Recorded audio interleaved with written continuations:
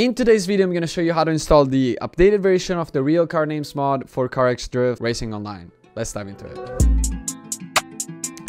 So guys, before we start, uh, make sure that you have installed already KinoMod, which is needed in order to be able to install the Real Car Names mod too. If you still don't have KinoMod, I've made a video tutorial for that. The link is going to be in the description. And once we have KinoMod, we can proceed on installing the Real Car Names mod. To do it, just go over to this website over here. You're going to find the link in the description.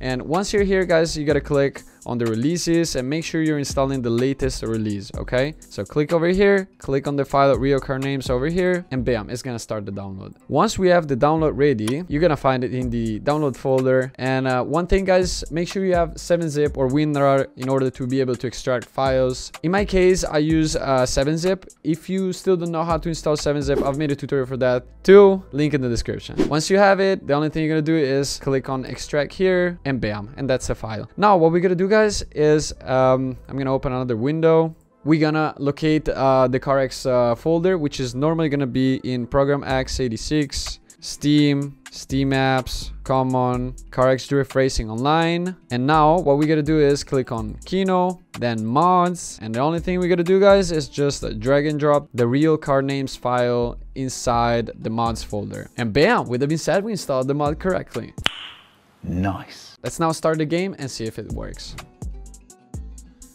Alright, we're finally in the game. Let's go in the catalog. And as you can see, all the cars have the regional names. BMW, Pontiac, Mercedes. And yeah, that's pretty much it. The mod is working fine. And um, yeah, hopefully this video was helpful for you guys.